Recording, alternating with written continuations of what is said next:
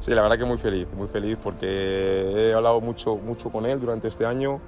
Eh, cuando salió lo del Racing y demás, eh, además tenemos a mi agencia que, que es el que, con el que ha, ha, estado trabajando en este corto periodo,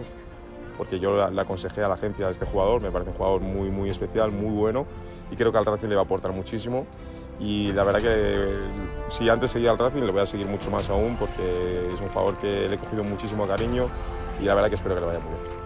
Respecto al fichaje, pues la verdad, qué decir, ¿no? Eh, estoy muy, muy contento, eh, muy ilusionado de venir a, a un club de, de esta magnitud.